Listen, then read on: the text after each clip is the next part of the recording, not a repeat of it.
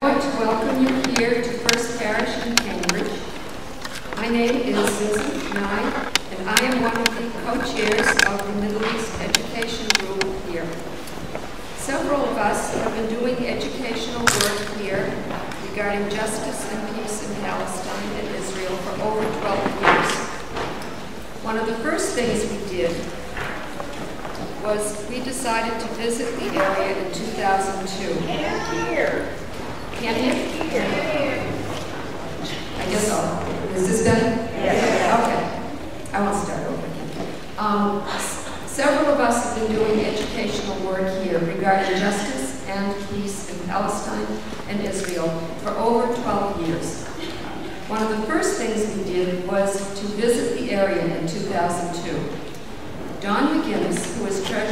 Gaza Mental Health Foundation, led the first of five trips on behalf of Unitarian Universalists for Justice in the Middle East.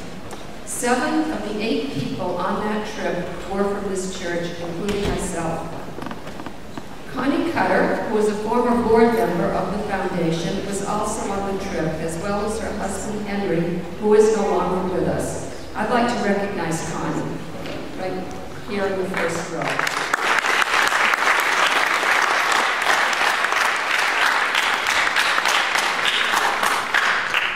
I mention this uh, trip to Gaza especially that the group um, was the first and last of the UUJ tours to actually get into Gaza.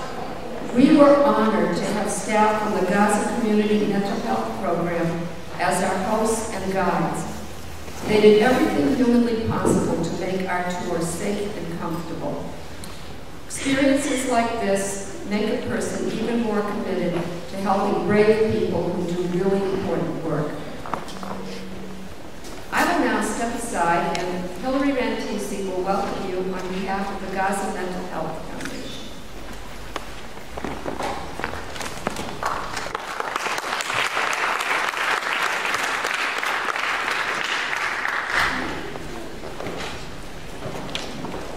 Thank you, Susan. Everyone hear me? Barely. Okay. Welcome, everyone. Um, As Susan mentioned, my name is Hillary Rantisi. I'm a board member of the Gaza Mental Health Foundation. On behalf of the board of the Mental Health Foundation, I welcome you all and thank you for being with us this evening. I especially want to thank our hosts here, uh, Susan Nye and the Middle East Education uh, Group at First Parish Church, Cambridge. I also want to thank all our co-sponsors. Um, we have a, a very long and very impressive list of co-sponsors. I won't list them all right now because they're in the back of your program. So I encourage you to look at the back of the program to see uh, the list of all the organizations that are co-sponsoring. We thank you all very much for, for co-sponsoring and showing your support for today's event. The fact that so many of you are co-sponsoring is a testament to the legacy of Dr. Iyad Sarraj. It's also a testament to the, all the good work that the Gaza Mental Health Foundation supports in the Gaza Strip. So we thank you for this support, and we hope you will continue with us in our journey. Uh, just a note to mention that this event will be filmed this evening by our friends from Code Pink. They will be panning the audience uh, at some point.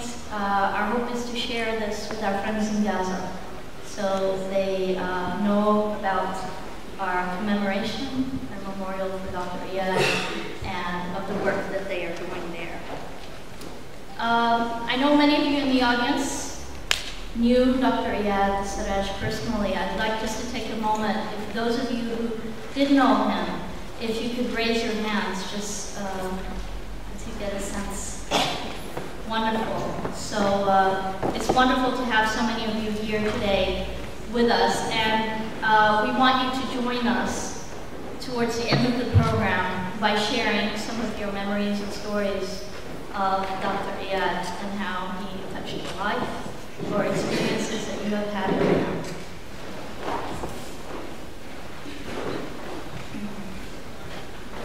I'd like to uh, introduce our our musicians for the evening. Uh, if you could come up, please.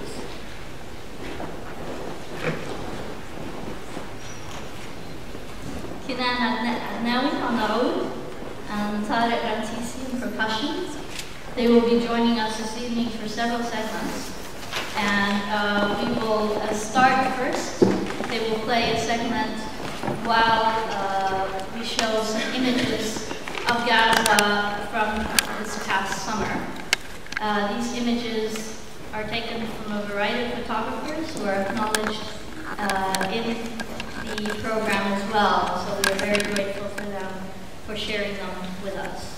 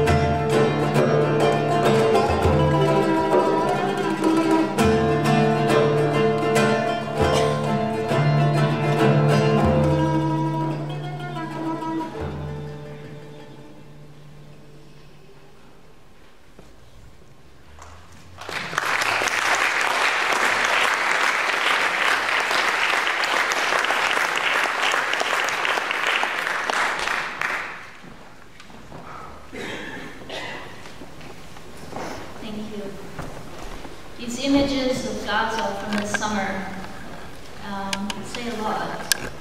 They show us life, but they also show destruction, loss, devastation at so many levels. So many of our community, of our family that work on mental health issues in Gaza have been impacted.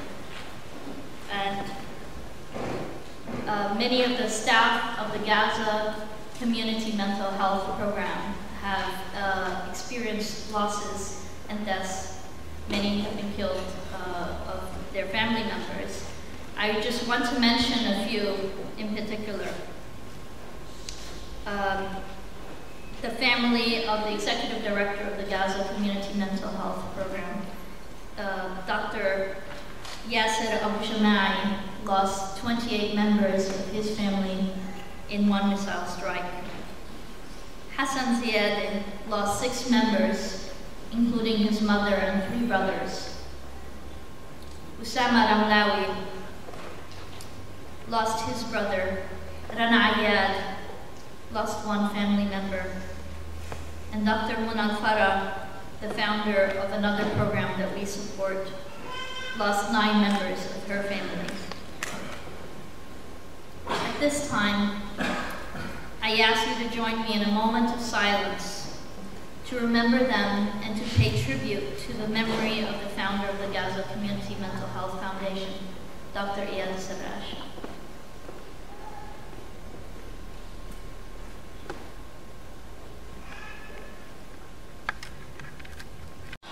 Nancy is a co-founder of the Gaza Mental Health Foundation and is an inspiration to many of us.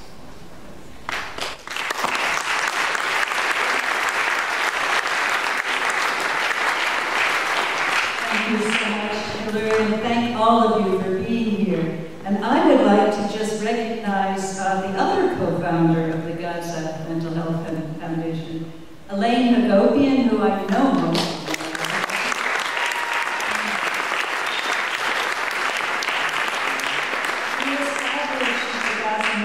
Foundation in 2001 to support the work of Dr. El Gaza Community Mental Health Program and eventually other mental health projects in the Gaza Strip. Now, we started planning this tribute to Dr. Iyad El Sarraj a few months after his death on December 17, 2013, and well before Israel's attacks in the summer of 2014, which produced the images you have just seen and again brought the Gaza Strip briefly to the attention of the world. For Dr. El Sarraj, mental health human rights went hand in hand. It is not hard to imagine what he would be doing and saying if he were with us today. He would be working to restore dignity and hope to those who have described themselves as feeling broken or destroyed, and would be doing everything in his power to awaken the conscience of the world, to demand an end to the perpetual human rights emergency in which Gazans are forced to live. Quote, our wounds in Gaza are still open, our justice still denied, end quote. Dr. El Sarraj wrote to President Obama in September 2009, nine months after Israel's Operation Cast Lead reduced large portions of the Gaza Strip to rubble, and its draconian siege made it all but impossible to carry out a rebuilding process. The letter continues, quote, the war and the continued closure of the Gaza Strip have undermined the capacity of mothers and fathers to act as protectors and providers. As a community, we will struggle for decades to live with the consequences, end quote. I first met Dr. Iyad El-Sarraj 26 years ago during an earlier phase of the human rights emergency. I was in Gaza as part of a fact-finding delegation soon after the first intifada began. And I will never forget the shock of seeing hospitals full of young men and children who had endured the, quote, forced might and beatings employed by the Israeli army to put down an unarmed civil uprising of the entire population. I'll never forget hearing screams and gunshots and the wailing of ambulances all night long. In 1988, and for the next five years, a 7 p.m. curfew was imposed on the Gaza Strip, and anyone who violated it could be shot. But Iyad el-Sarraj was not about to abide by this military order. Instead, every evening, he would go where he was needed in his small car, giving solace and medical attention. He made no attempt to avoid the army convoys, but instead would purposefully go his way, sometimes with me in the passenger seat. So brazen was he in breaking the rules that the soldiers must have assumed he had a special permit, which he did not. What he did have was a determination to live in open, nonviolent defiance of occupation, both as an assertion of his own humanity and in recognition of the humanity of others, Israelis as well as Palestinians. There was a feature story about Iyad el-Sarraj in the Canadian magazine Equinox, published in February 1995, which illustrates this quality. Quote, he was once stopped during the Intifada and ordered by an Israeli soldier to extinguish flames from a burning tire with his bare hands. He refused the order. When the soldier threatened to take his identification card, El-Sarraj didn't protest. Go ahead, take it, I don't care, he said.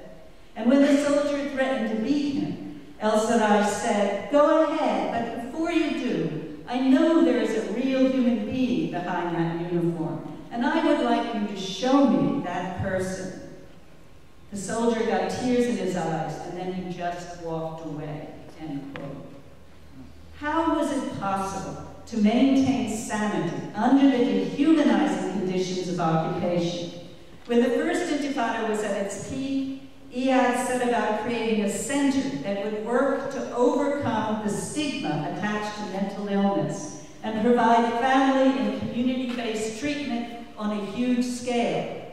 In 1990, he opened the Gaza Community Mental Health Program, which soon had clinics in the refugee camps. Before long, it had established a range of training programs, crisis intervention programs, special projects that worked with children and people who had been victims of torture. He had an empowerment women's program and a training and education department offering courses teachers and nurses, as well as a postgraduate diploma in community mental health and human rights.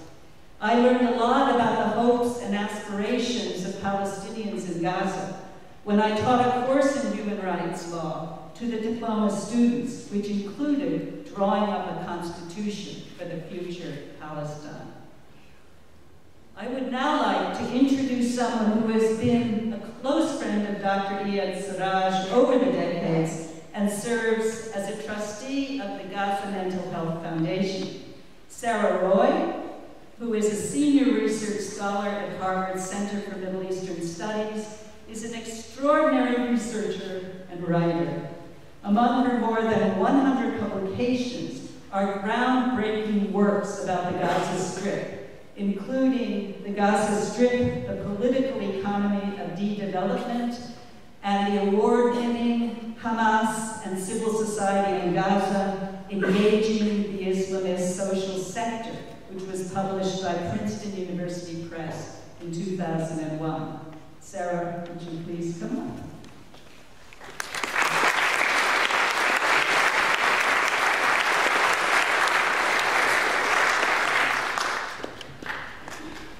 Thank you all very much.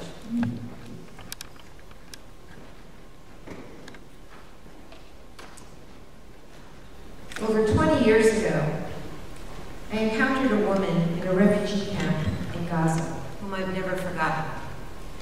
It was a painfully brief encounter, ending as imperceptibly as it began.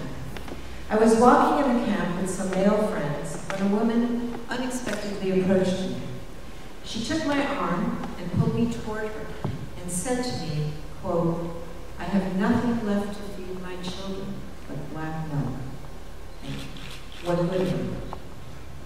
Before I could respond, clearly at a loss as to how, or think to hold on to her hand, which was momentarily fastened to my arm, she disappeared into the camp, evaporating, it seemed, into an expanse of dust and air. I stood there stunned, trying to understand what had just happened, tears welling in my eyes. My friends, clearly embarrassed by the encounter, simply dismissed her as someone pitiable, even crazy. When I was asked to prepare this tribute to Iyad, I immediately thought of this woman, whom I shall call Nadia, and my few searing moments with her. To this day, I wish Iyad had been with me that day in the camp. He would, have been, he would not have been ashamed by Nadia, as my male friends apparently were, but would have reached out to her and embraced her, offering her the comfort she so desperately needed. By now, much has been written about Iyad, his background, his work, and his many professional achievements and honors. I shall not repeat what others have said. Rather, want to share some personal experiences with this remarkable man, one of which I have never before revealed, that powerfully express who he was. I met Iyad in the summer of 1985 during my first visit to Gaza. I was there to do fieldwork for my doctoral dissertation on American economic assistance to the Palestinians in occupied territories. I was urged to meet Dr. El-Sarraj, whom I was told was the only psychiatrist in the Gaza Strip. He was also the director of the mental health service in Gaza's Department of Health, which was under the control of the Israeli military authorities. Our first meeting was at the Marna House, a small hotel where I was staying. Iyad walked into the parlor of the hotel, and I remember a tall, handsome man whose presence filled the room. We spent a long time talking, although I do not remember for how long. What I do remember was his fierce honesty and the absence of any sense of caution or tentativeness. Where others were initially and understandably careful in speaking with me, a foreigner with whom they did not know, Iyad was open, direct, and resolute.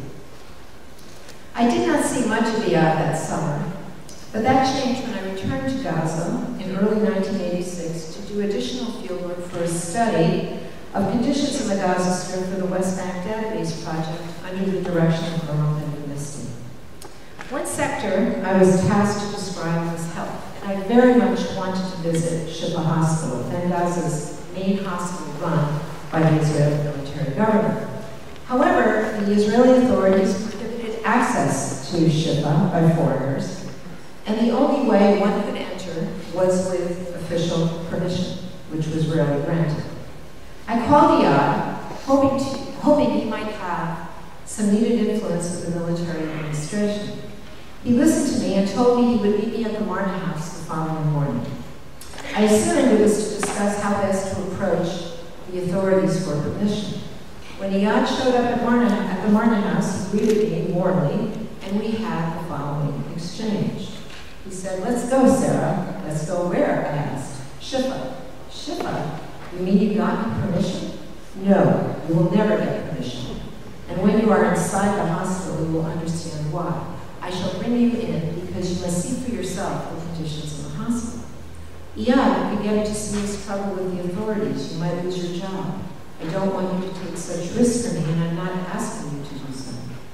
I'm not worried, he said, but you must write about what you see, everything I show you. At considerable risk to himself, and it was only later from others that I learned how great the risk actually was, Iyad surreptitiously brought me into Shifa, walking me through the entire hospital, including the operating room. He allowed me to take as much time as I needed, despite the worried looks of the hospital staff. He did not say too much, but he did not have to. Conditions inside the hospital were appalling, as the following excerpt from my published report, the Gaza Strip Survey, shows, and I quote myself. Mice, roaches, and other insects were observed scurrying through individual wards, rooms, and bathrooms. Rooms were extremely dirty and in a state of decay, as indicated by broken windows, peeling paint, and cracked floors. Hospital beds were old and rusty, and patients were observed two to a bed, lying on sheets that were torn and bloodstained. Hospital personnel indicated that the same sheets are often used for more than one patient due to a lack of supplies. Rooms are cleaned only when patients can afford to pay.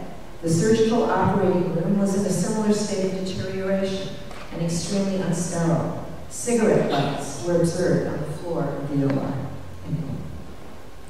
This one paragraph caught the attention of the international media and a firestorm ensued, including a four-minute segment on life inside Gaza on the ABC Evening News Iyad told me that the Palestinian director of the hospital was fired and that, the hosp- and that hospital conditions soon improved, but only temporarily. After Shifa was cleaned and repaired, the military government invited various international groups and organizations into the hospital as a way of refuting my claims. The Knesset even threatened to subpoena Meron and me since they accused us of having been paid by the PLO to write the report. I was often asked how I got access to the hospital, which I never revealed until now. I remember receiving a call in Boston from a senior official at the American Embassy in Tel Aviv, who, surprised that I managed um, to get into Shifa, asked me whether I had seen dogs running through the hospital as he had when he was last there. Many people thanked me for exposing the conditions in Shifa, but it was Iyad who was truly responsible for doing so. Iyad was an extremely principled man, and he did not fear retribution for actions he believed in. I remember another time, years later, sitting with him in the garden of his home. It was the spring of 1996, and not long before, he had been appointed the Commissioner General of the Palestinian Rights. Iyad was very upset about the behavior of the Palestinian Authority in Gaza and its increasingly flagrant abuse of human rights. But what outraged him most, it seemed to me, was the facile, almost effortless nature of the PA's abuse, the ease with which they oppressed their own people, and the total lack of remorse that defined their abuse. His anger was palpable, but so were his pain and the feeling that his beloved Gaza had been betrayed once again. He told me how he was going to publicly expose the PA in an effort to initiate a process of reform. I remember feeling anxious and tense, fearing, I told him, his arrest and possible torture, which is what subsequently happened. Iyad, however, remained consistent and unwavering, telling me that silence is not an option. In the near three decades of our friendship, I came to know Iyad very well. There are few people for whom I have more respect, admiration, and affection. I always learned from his example. He was, as others have written, long and deeply committed to addressing trauma, especially in children, and to protecting and honoring the dignity of the individual, irrespective of religion or nationality. For me, Iyad's most important legacy lies in one fundamental belief which animated his life. While resistance to oppression can assume many forms, the most powerful form of resistance resides in maintaining one's humanity, in the presence of cruelty, and in seeking that humanity in others, including in one's oppressors. Such resistance, he believed, can never be extinguished. Ask Stuart Ting Chong to come up to the platform and read a message to this gathering from Archbishop Desmond Tutu. Stuart is a South African by birth who now lives and works in the United States. He was for many years a personal staff member the Arch, Arch, to the Archbishop. So Stuart, would you please come and read the message? Thank you.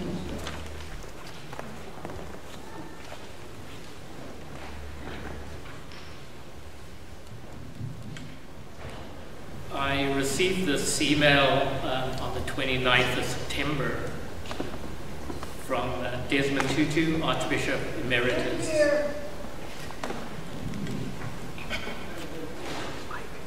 Dear friends, the horror and devastation of war is evident in the photographs captured on social media and the news.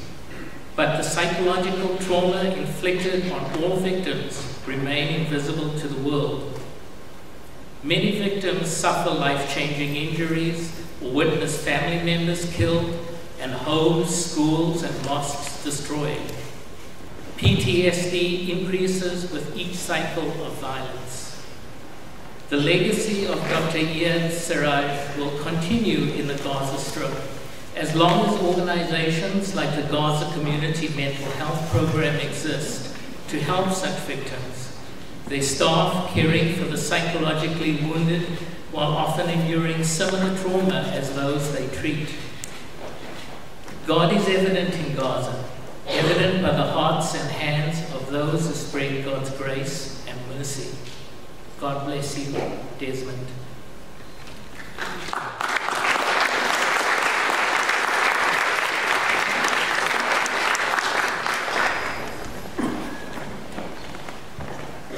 Our next speaker has educated and inspired generations of people around the world. No one has done more in this country to put the Palestinians on the map. And no one has given more generously of his time and energy to reach audiences across the United States and beyond. And how he has managed to do this while teaching, making major breakthroughs in linguistics, writing some 125 books, and thousands of articles, and responding to a daily barrage of emails is beyond me. He has known Dr. El Sarraj for more than 20 years. I recall the three of us being together in Wichita, Kansas, shortly after the Oslo peace process was launched. Professor Chomsky last saw Iyad in Gaza a year before his death. Please welcome Noam Chomsky.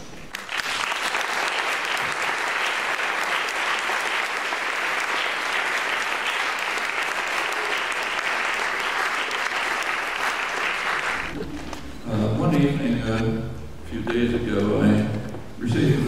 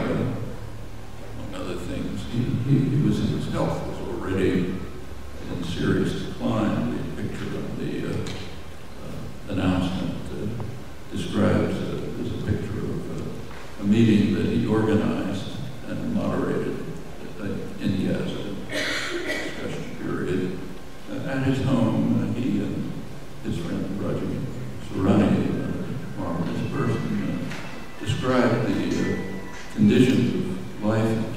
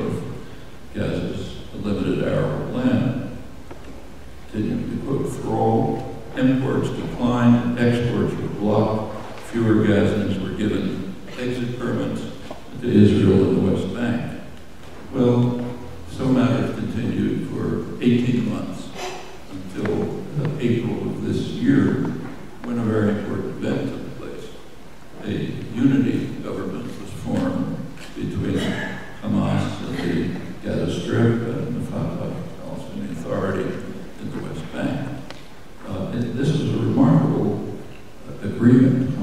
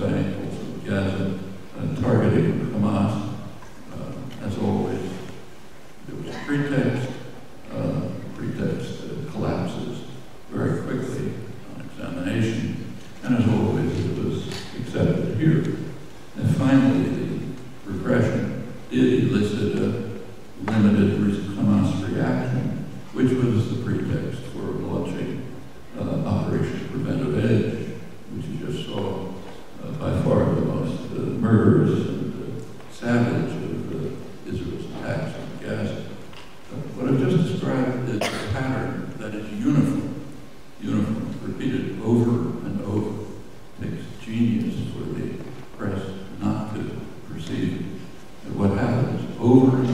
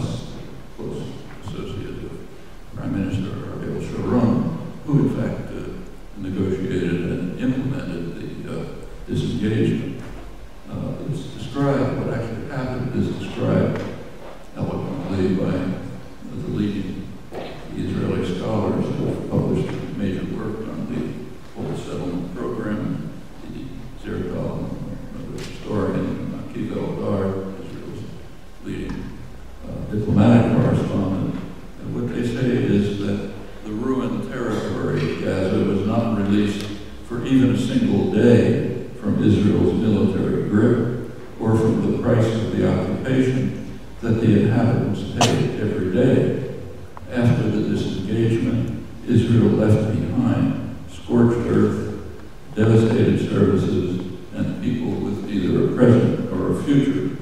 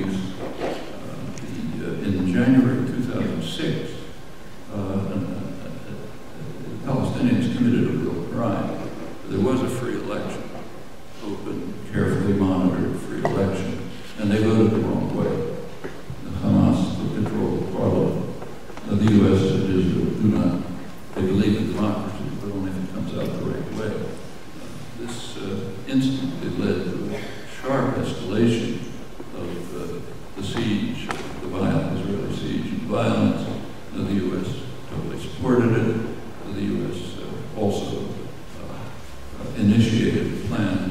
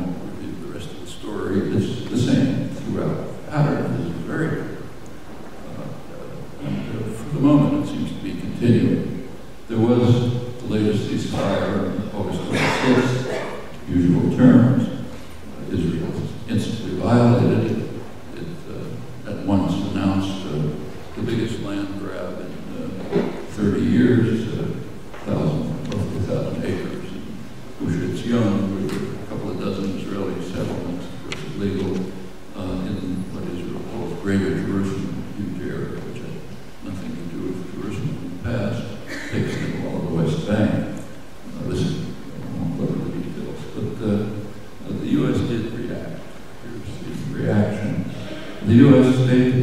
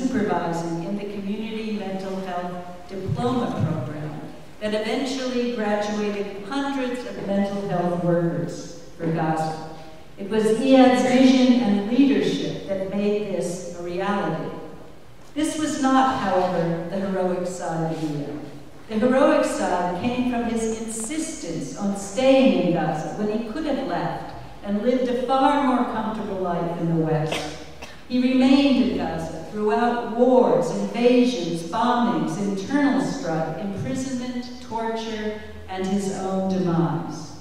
He was not a partisan and he took many unpopular stances. He never hesitated to criticize any manifestation of injustice. He was steadfast until his last breath. My fondest memories of Iyad are when we would go to the beach in Gaza. He would take his morning swim and I would watch. These quiet moments brought him so much pleasure. He loved Palestine and was dedicated to making Palestine a place of equality and justice for all. I was in Gaza this past December and January and paid my condolences to his family. Gaza feels so empty without him.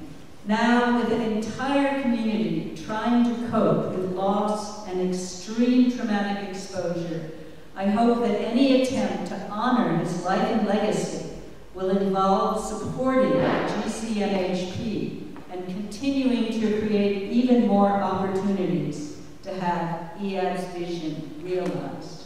Thank you.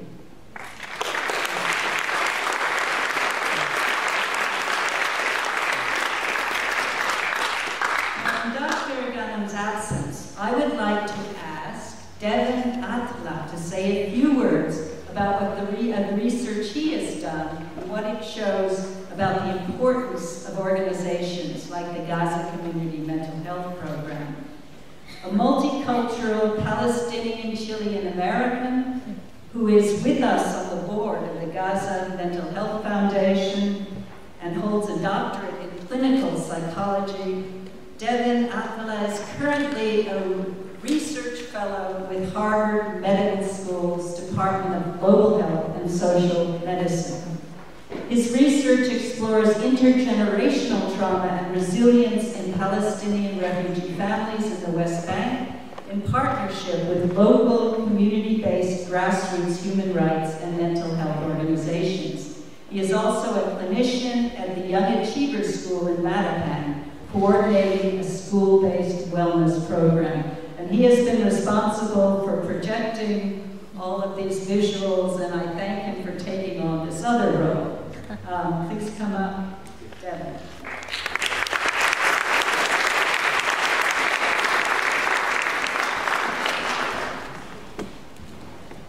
Thank you, Nancy, and thank you all for being here tonight. I'd like to begin by building on the words of Dr. Jess Ghannam. Without a doubt, uh, part of our attempt to honor the life and legacy of Iyad should involve directly supporting the Gaza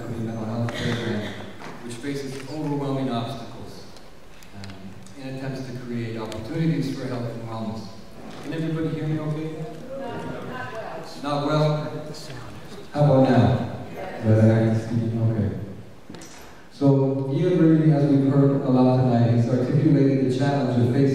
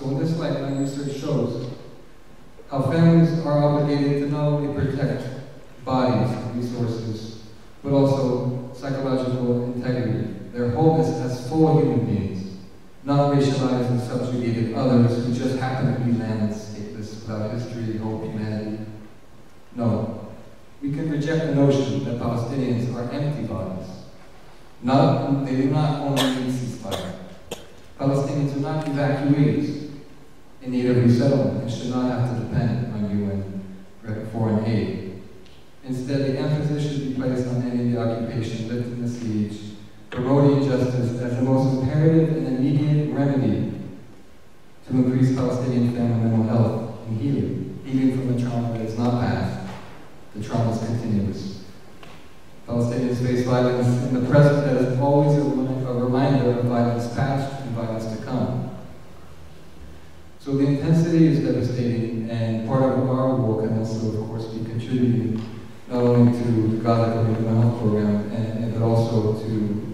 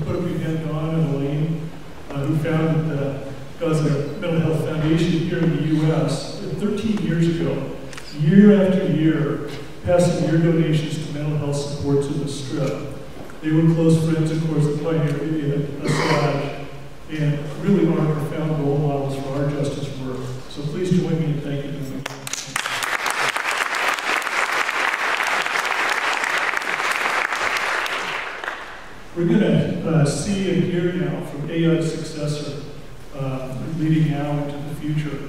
Looking forward to his message now. Let me uh, ask you to identify the object over his left shoulder on your right. Uh, he'll give us an overview of the mental health program's two levels of work that Devin's touched on as well. Individual supports for psychological emotional health, um, and the whole population, public health, education, coaching, and rights building. After the message, as Nancy said, we'll end by debriefing a bit, uh, music, well, passing the hat, and Nancy will mention some more about how to be active. And then uh, please join us in refreshments so we can talk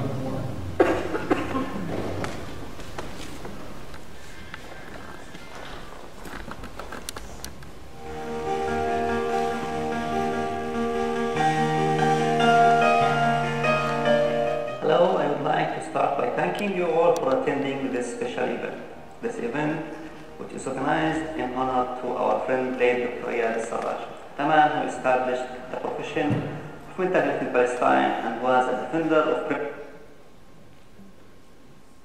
principles of peace, justice, and human rights in Palestine and the whole and worldwide. He was highly recognized by receiving many international awards in recognition of his significant contribution to the principle of peace and respect of human rights. We are committed to continue his mission and path. I take this opportunity to thank Gaza Mental Health Foundation in USA, our twin organization, for their key work in supporting us and Palestine. Special thanks to Dr. Nancy Murray, Dr. Bill Slaughter, Dawn, and all the group for their commitment and continuous support for the people victims of oppression and justice. I would like to introduce myself. I am Yasser Abu Jamei, psychiatrist and the executive director of Gaza Community Mental Health Program. In few months, GCMHP will be celebrating its 25th anniversary. When we look back, we find big achievements despite the challenges, and there are many. The first and the most important is the Israeli occupation, the oppression, siege, and torture that Palestinian people endure over the years. Since its work, GCMHP hoped to serve all population in Gaza by different means, give social support for those who need it, build capacities in the governmental and non-governmental sectors, establish for research work on one hand, while spreading awareness and defending Palestinian rights on the other hand. A month ago, Israel has launched a brutal offensive, the third of its kind in the last six years. The offensive was large scale with extreme psychological impact on children and families, whether this impact is related to the long sense of insecurity or traumatic events themselves or the huge loss of people and property. My own family, my own extended family, suffered 28 deaths at one time in one single strike by an uh, Israeli jet fighter, killing 28 people, including 15 children and 3 pregnant women. War violence cannot solve any problem.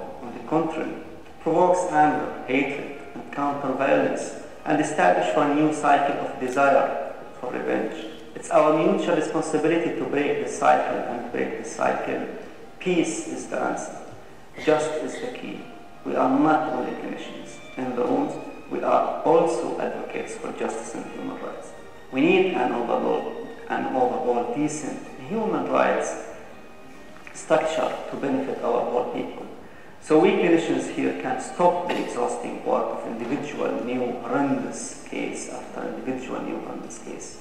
That is no solution. Now GCMHP rule is needed more than ever. The suffering is huge. We have to dignify the dead people.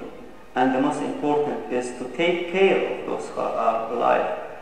We are responding with crisis intervention, where we visit families affected by the war and provide them with psychological first aid and refer cases who need further specialized to our community centers.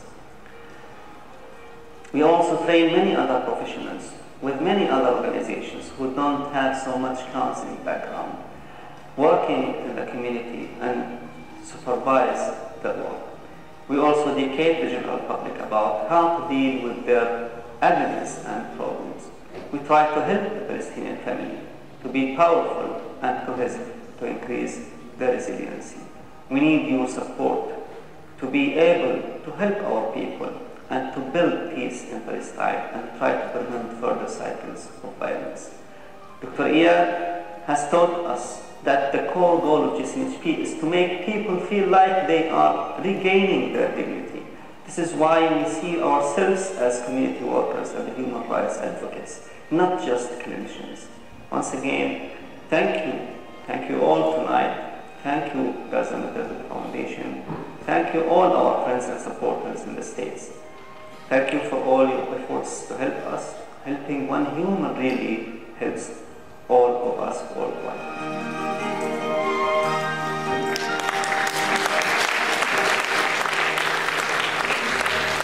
and Yasser now and into the future. Clearly, they link individual care and then population-wide care, social and then, as Yasser said, really all of us worldwide. Some of you have given already, we really appreciate that. Uh, please give as much as you can tonight, um, helping really on all those levels. And do be in touch with us in the future too, if you like. Send in checks, there's a donation envelopes, whatever uh, can help. Now, behind Yasser, passed on from Iyad, is the Palestinian key toward psychology, justice, and peace. Half of Gaza community mental health energy is individual level care, unlocking the desperately isolated terror ongoingly now in the psyche of each sufferer, then humanely taking on some of the feeling, co-dissipating the terror, nudging away from violent acting out on children, spouses, being fully with humanity. Uh, some of you know a friend who was with us this summer, uh, with our family. His children in the attacks regressing psychologically, phone call, phone call, um, explosions and shrieks all around, regressing to baby talk, losing uh, bladder and bowel control, backwards, backwards, backwards, clinging desperately to anyone we could hear on the phone and shrieking. The program focuses on most horrific individual cases, occasionally with wonderful Israeli doctor allies for worse, out of control, fully psychotic folks to care levels that are available only on the other side of the green line. Yasser notes the 08, 09, 2012, this summer's attacks. The beatings will continue until morale improves. But let's us do something different.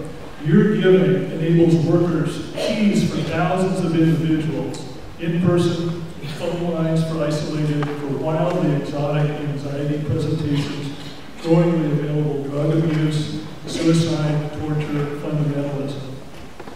Now, population-wide action uh, is a as well. 50%, the other 50% of Gaza community mental health energies are as uh, I like to call it the mental health backbone and nervous system of the Strip.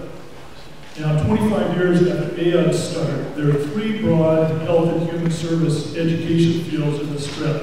The UNRWA refugee system, the government system, again, serving refugees, as most people locked together in the Strip are refugees now and the NGO grassroots levels organization, serving who? Yes, refugees, uh, primarily refugees through hundreds of schools and, and primitive level care clinics all schools and helping organizations do their best, clearly, but everybody's traumatized. But Gaza Community Mental Health staff has the advanced training and is really seeped in the toughest cases, making them the go-tos in the strip for the most horrific and entrenched situations beyond other helpers. Public health, YouTube, radio programming, teaching coping. It's the chief ongoing trainer and coach of the strip for psycho-emotional distress, working closely with those three broad public sectors that I mentioned to spread really expertise out through lesser trained folks, even to the grassroots organization levels. Examples of myriad public education materials um, that they put out um, include four recent initiatives developed with and coaching all teachers and parents throughout the strip on anti-bullying, body-mind health approaches, conflict resolution, best parenting with all children and parents locked in collective psychological confinement or siege. Um, in any, of course, of our U.S. healthcare offices, slavery, Holocaust, Native genocide, ECHO, with new now global war and individual cases. Here, we have trauma, when we have traumatized folks, we basically are trying to ease them back into um, an overall le legal rights and social matrix. Not minimizing now our Ferguson, certainly. We do, we here do have a central core equality vision, a long arc of history, all created equal, regardless of religion, ethnicity, and race. This undergirding, really, equal legal and human rights infrastructure doesn't exist for people currently locked in Gaza, for any Palestinians regionally, as many of you know very well and personally. Wave of individual after individual trauma, but no basic rights undergirding to present, prevent some inequities and ease all those individual cases back into. Iyad and now Yasser have to work constantly unlocking the fundamental rights simultaneously with individual clinical care. Rights are key to all of our individual health. We here, U.S. civil society, clearly have to struggle to maintain and really grow our decency as a society. We have special responsibility, as Dr. Chomsky said, given our regional stance until now, to ally with Gaza Community Mental Health Programs, public health and rights work, as Yasser asks, with all decently assertive civil rights groups throughout the region in that broad middle that's between those pushing aggressive lockdown and killing on the one hand, and on the other, those kind of whispering about passive subservience and giving up. Lastly now, the number one request for training, Gaza Community Mental Health students, the program that's been mentioned, and staff, Red Crescent Crisis Team, the UN strip-wide training of all the three of those fields I laid out, when I've been able to get in, we were talking about that before, about half the time I've tried, always difficult. Uh, the most requested training is how to bring people out of chronic, very entrenched nightmare hell. Yasser left out of this video, but I reached my phone the day after this major attack, and he said it's okay to, to talk about this with caring people. So, uh, if you left out of the summer media reports, you might have heard about this family slaughter. You've seen the coverage of those 28 family deaths, the biggest single loss in one bomb of this summer. The kids' bodies, being especially small, were really blown apart. So the family did its best to get the right parts buried together, but they were really just scrambling, right? because attacks were continuing all around at that point, and they knew they weren't getting it quite right and felt terrible about that. This is the, an example of the stuff of nightmares for everybody there. And I'm a little concerned about it personally, um, similar to other people being so close to Iyad. And you know, healthcare, my field is into research and evidence. The clearly, repeatedly best proven help for chronic nightmares is changing bad plots to good.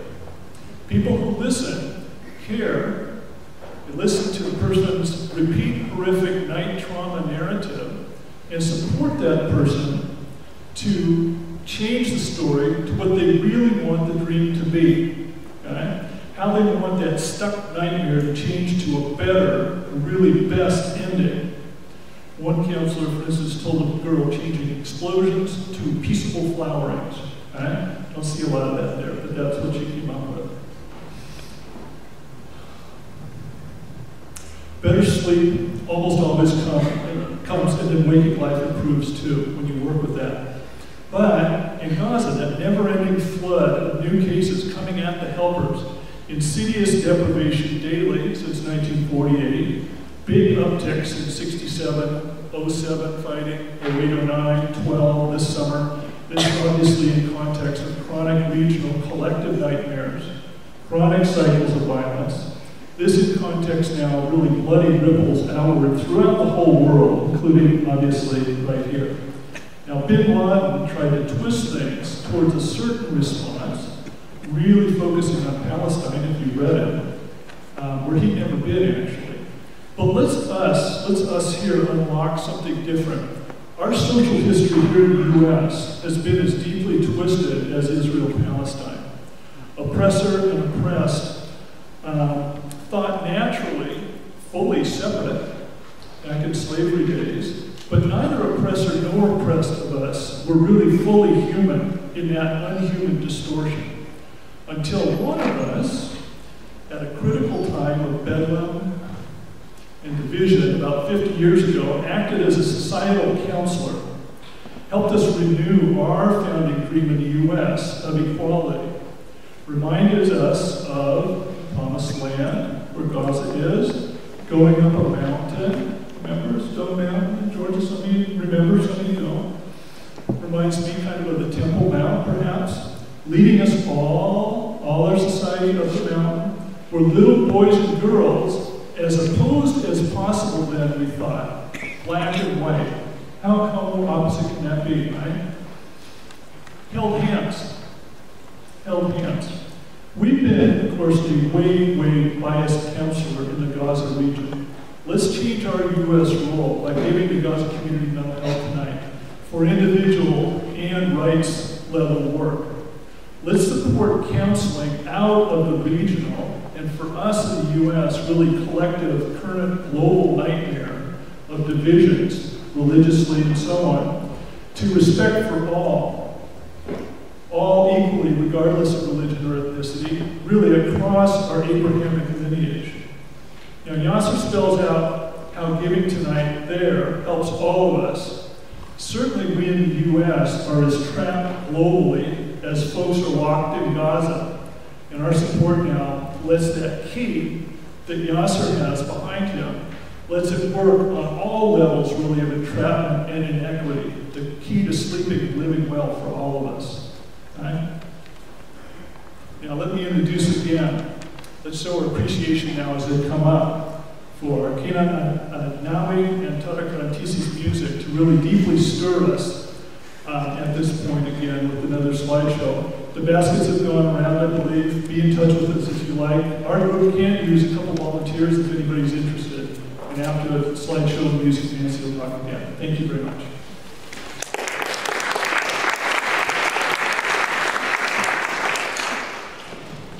As the musicians come up, let me just say something about the person who took these slides. We wanted to end with something more positive because this has been a very difficult way to frame uh, the work in Gaza. Everything has been so dire and so catastrophic. So we asked Tanya Habjouqa. She is an award-winning Jordanian-born photographer who has been based in East Jerusalem. She hoped to be here, but she could not make it. But the reason we asked her, you might have seen in the New York Times earlier this year uh, a feature about Tanya. She has produced a book about stereo, stereotype-defying book called Palestinian Pleasures, which shows another side of Palestine and another side of Gaza where she spent much time. So we're going to see some of those pictures, some of those images, and listen again to these wonderful musicians. Thank you.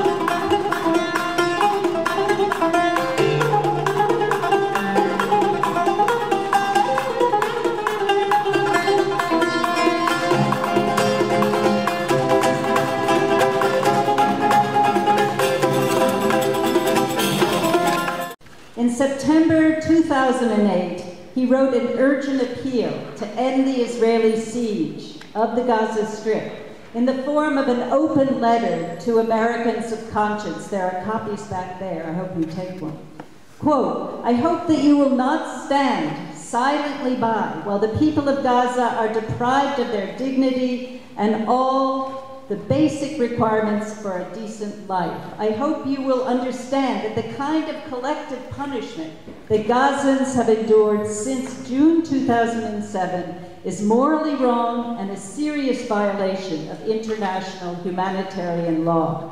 The siege is not just killing the spirit, and in some cases the lives of Gazans, it is also destroying all hopes for a peaceful future in the region, end quote. It is now six years since he wrote that letter, and astonishingly, the siege is still in place. Palestinians in Gaza are now once again living in the rubble of their homes, schools, hospitals, and smashed infrastructure, unable to access building materials. We all have a part to play in instilling hope. We can work to change U.S. foreign policy and we can work to let Gaza live. I mean, this really is our responsibility, as Professor Chomsky said.